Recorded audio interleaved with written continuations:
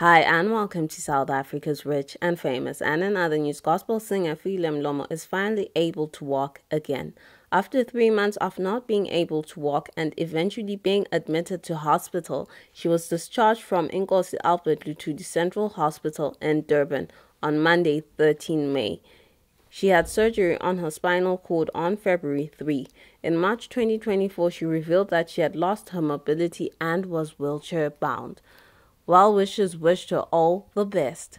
For more stories like these, kindly do keep subscribing to our YouTube channel at South Africa's Rich and Famous.